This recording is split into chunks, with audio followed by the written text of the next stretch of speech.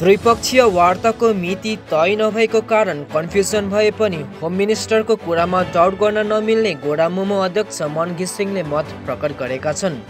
Home मिनिस्टरले Gorkha जातिको समस्या अब टेबलमा आएर समाधान हुन्छ भनिसकेपछि उनको कुरामा डाउट गर्न मिल्दैन भन्दै घिसिङले सकारात्मक विचार लिएर अघि बढ्नुपर्ने मत व्यक्त गरेका छन्। तिनधारे सुकुना समष्टि भ्रमणको क्रममा नै गोडामुमो अध्यक्ष घिसिङले विवादमा नपस्ने पनि आह्वान गरे। विधायक निरज जिम्बाले त्यस समय त्यस्तै म्यासेज पाएर त्यसो भनेको हुन सक्छ। तर दिल्लीमा कतिपय कारणहरू हुन सक्छन् कति समय ढिलो छिटो हुन्छ। तर झगडा नै गर्ला जस्तो गर्नु हुँदैन भन्दै घिसिङले विधायक जिम्बाको तिस सेप्टेम्बरभित्र भन्ने बयानको बचाउ गरेका छन्। यसका साथै उनले वार्ता हुनैपर्छ भन्ने विषयमा पनि जोड दिएका छन्। मिसरले अग्री गरिसकेको छ भने ट्राइपाटाइटको होइन? ठिकै छ त्यो पर्टिकुलर डेट पनि मेन्सन नभएको कारणले गर्दा पनि अब यहाँ भइरहेको छ अब के के कन्फ्युजनहरू तर होम मिनिस्टरले अग्री गर्नुभएको छ।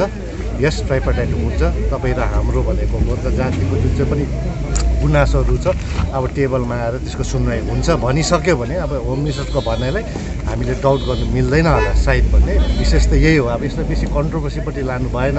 हामी आशा गरौँ एउटा पोजिटिभ विचार लिएर सोचौँ केही न केही राम्रो होस् है भन्ने यो जातिको लागि यो पाहाडवासीको लागि होइन पाहाड तराई डोजको कुराहरू छ सबै सम्पूर्ण जनताको लागि नै राम्रो होस् भने यो प्रकारको एउटा मेसेज चाहिँ जानुपर्छ। चाहिँ डेटमा तल माथिमा यही उयो चाहिँ भएको राम्रो होइन एक्चुली होइन?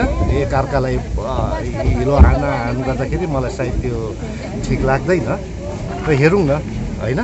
जब एकखेप होम मिनिस्टर भनेको भारत सरकार अमित शाहजीले भनिसकेको कुरालाई अब हामीले यसलाई अब विश्वास गर्दिनँ भन्नु पनि मिल्दैन।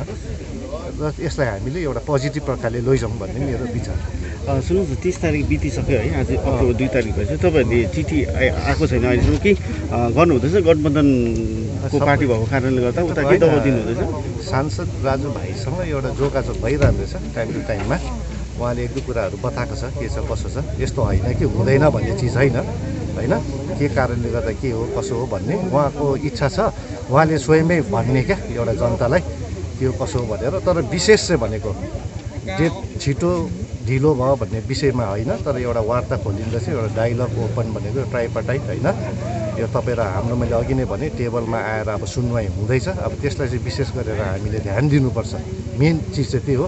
र उसले पनि इच्छा गरेको छ हाम्रो सांसद दाजुभाइले पनि स्वयं उहाँले नै एक दुई कुरा राख्छु भन्ने एक दुई दिनमा यो विचार राखेको छ। सुन्नुहोस् न अगस्तमा चिठी आउँछ भन्छ अहिलेसम्म आएको कि? अलिक ढिलो भएको जस्तो लाग्दैन। भनेको छैन नि डेट मेरोबाट त केही भएको छैन होइन? पर्टिकुलर एउटा डेट भएको छैन एउटा होम मिनिस्टरले हामी जाँदाखेरि यस भनेर एउटा ट्राइपाटाइटको लागि अग्री गर्नुभएको छ। बुझ्नुभयो? अन्त यसमा प्रोसिजर हुन्छ के हो कसो हो होइन? एउटा होम मिनिस्ट्रीकोमा के के गर्नुपर्छ? त्यो चिजहरू हुन्छ प्रोसेस तर र पनि भनेको यत्रो वर्ष मैले अघि नै भनिहालेँ यत्रो वर्ष हामीले पर्ख्यौँ होइन? र पनि एउटा एउटा अब एउटा आशाको किरण भनौँ एउटा ढोका खोलिँदैछ।